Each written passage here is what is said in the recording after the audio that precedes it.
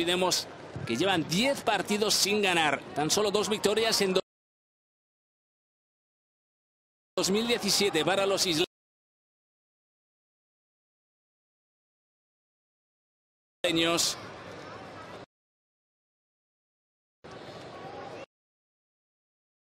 Y ninguna victoria con Sergi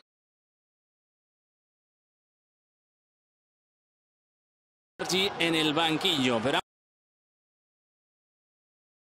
Aún queda tiempo en este partido. Margual.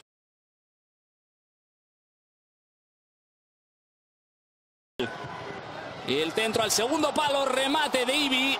Y ese balón pareció al de Moutinho, cruzó la línea.